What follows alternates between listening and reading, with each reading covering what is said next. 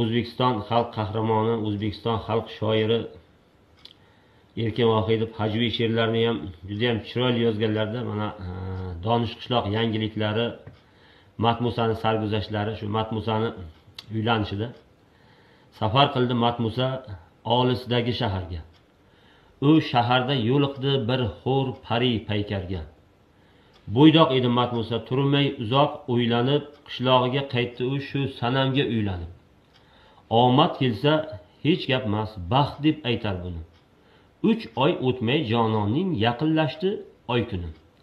Hamma hayron hamma lol iye biz bir yilcha kutardik. Bu matmusani xotini chiqib qoldi udarnik ne ekan deb shoshilib zardorlikning bu siri chopib keldi suhbatga gazetaning muxbiri.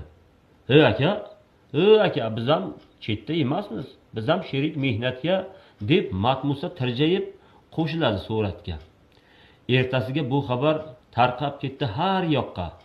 Sarlavha ham chiroyli ilg'or o'rnak qishloqqa. Hay'atlarda kekkayib yayrab yurar matmusa e aka biz undoq e aka biz bundoq deb sayrab yurar matmusa alqissa shu ba'zida shunday bo'lib qoladi. Birov qilib mehnatni birov obro' oladi degan ekan erkin vohidov